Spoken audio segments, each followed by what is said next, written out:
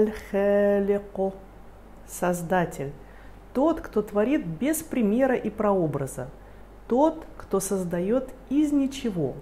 Человек, познавший это имя Аллаха, проявляет свои скрытые таланты. Аль-Халик – Создатель, творящий из ничего. Размеряющий, архитектор – он творец всего сущего, сотворивший Вселенную из небытия, без примера и прообраза.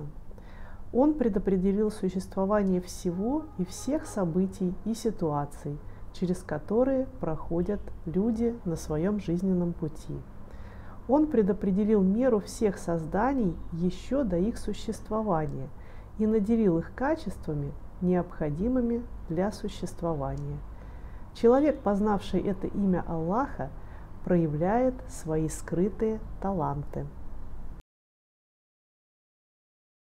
Аль-Бари Создатель, создающий без изъянов, тот, кто по своему могуществу сотворил все сущее.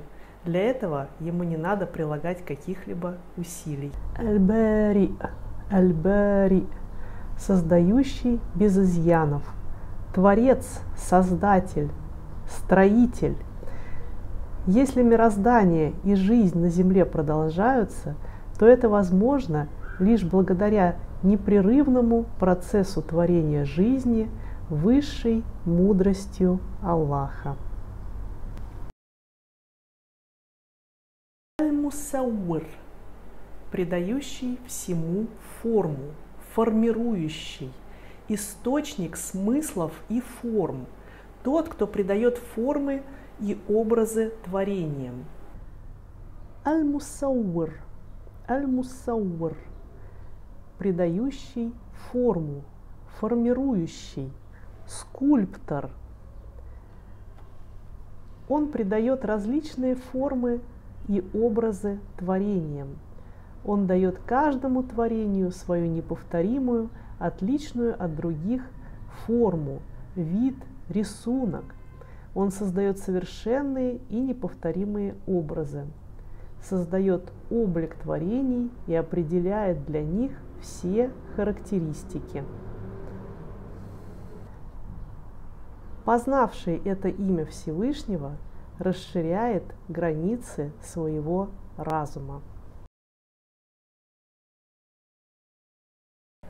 Аль-Гафору, прощающий и скрывающий грехи. Он обещал тем, кто обращается к Нему искренне каясь о совершенном, заменить их грехи на благие деяния. Аль-Гафор, прощающий, всепрощающий, снисходительный. Он тот, кто является единственным прощающим и утаивающим – прегрешения и недостатки своих творений, прощающий и на этом, и на том свете. Он тот, кто делает явные, прекрасные черты своих служителей и покрывает их ошибки и промахи.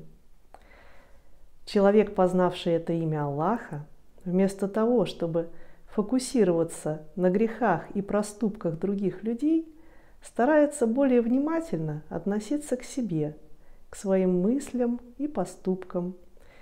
В его сердце естественным образом прорастает мягкость и снисходительность к своим близким и знакомым, без какого-либо подстраивания или потакания их слабостям.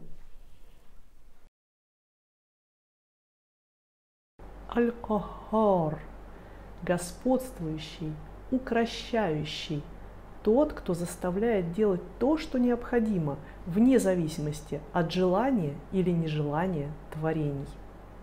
Аль-Кагар – тот, кто приводит силы созидания и силы хаоса к их необходимому балансу.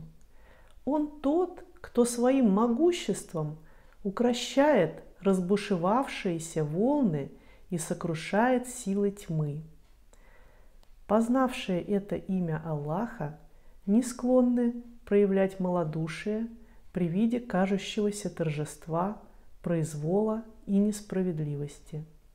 Они знают, в чьих руках вся власть и знают, на чьей стороне будет окончательная победа. Аль-Вахаб – дарующий. Тот, кто, не дожидаясь просьбы, дарует необходимое. Тот, кто дарует постоянно. Тот, кто одаряет все свои создания, не желая. Аль-Вахаб – он дарует от преизбытка, не преследуя никаких корыстных целей. Подобным качеством не обладает никто в полной мере, кроме Всевышнего Аллаха. Познавший это имя Всевышнего – становится щедрым. Ведь щедрость заключается не только и не столько в материальной помощи людям, но также в доброте и широте душевной, в способности понимать, сочувствовать и прощать. Ар-Разок – дающий блага и пропитание, наделяющий средствами к существованию – единственный истинный источник благосостояния. Ар-Разок – наделяющий уделом, создающий блага, наделяющий благами, дарующий пропитание. Он дарует всему живому не только все необходимое для жизни тела, он также наделяет человека знаниями и пониманием. Риск – это все то, что человеку необходимо для продолжения жизни на Земле. Под словом риск также понимают предопределенный удел человека, который он получает каждый день в течение всей своей жизни. Аль-Фаттах – открывающий врата добра и блага, разъясняющий, тот, кто раскрывает скрытое, тот, у кого ключи от сокровенных знаний. Аль-Фаттах – раскрывающий, разъясняющий, победитель, дарующий победу. Он открывает скрытые знания, он раскрывает сердца людей для познания и любви. Он открывает пути выхода из сложных ситуаций. Он раскрывает сокровища своей щедрости и великодушия для тех, кто действительно ищет его. Аль-Алим – всезнающий, тот, кто знает все и обо всем. Постигшие это имя стремятся к знаниям. Аль-Алим – всезнающий, всеведающий, ведающий обо всем, что было и что будет, знающий самое скрытое и малейшее самое сокровенное. Всякое знание исходит от Него. Он обладает самым совершенным и абсолютным знанием. Он изначальный источник всех знаний и мудрости. Аль-Кобеду уменьшающий, ограничивающий. Тот, кто по своему справедливому порядку уменьшает блага. Аль-Кобед – удерживающий, сжимающий, уменьшающий, ограничивающий. Он сужает блага, кому пожелает – по своему справедливому установлению и порядку. Он удерживает сердца гордецов от возможности познать его. Он сжимает сердца, он забирает души умерших. Он уменьшает, кому пожелает, удел, будь то пропитание или иные блага, духовные или телесные. Поэтому заблуждаются те люди, которые считают, будто только хорошее от Бога, а плохое от дьявола.